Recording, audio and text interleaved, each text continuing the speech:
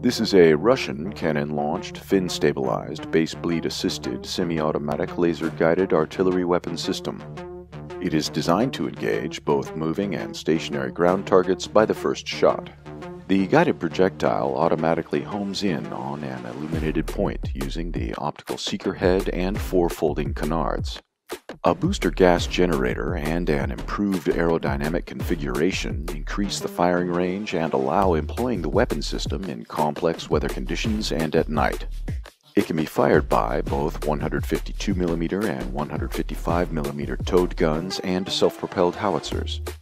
The Krasnopol system can also fire a salvo of multiple projectiles on a target using a single laser designator, which is typically operated by a ground-based artillery observer or an unmanned aerial vehicle.